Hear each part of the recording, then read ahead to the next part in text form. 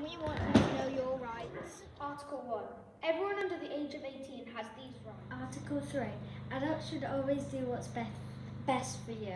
Article 8. You have the right to an identity. Article 6. You have the right to life and grow and reach your full potential.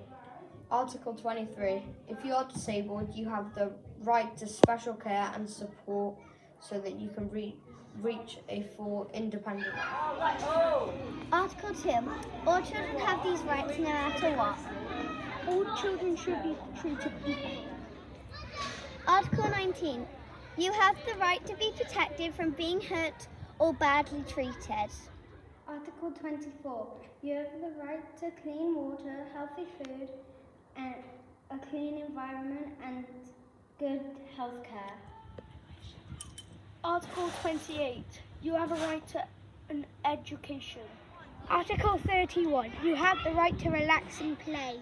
Article 7. You have the right to a name and a nationality. Article 13. You have the right to find out and share information and say what you think. Article 29. You have the right to be the best you can be. Education must help you develop your skills and talents to the full.